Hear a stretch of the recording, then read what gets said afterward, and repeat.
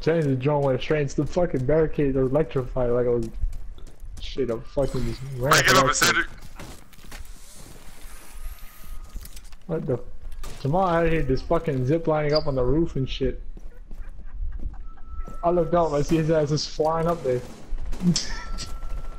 Cedric, break this open, Cedric. Break this Break open, Cedric. Oh wait. No, wrong place. My bad. They not. They upstairs. No, they upstairs. I'm still gonna do it. I need five pounds. I still need the five. Get out of here. D- said you took my damn kill. I- Kasim! Kasim! Shut, shut up. Neutralize the threat.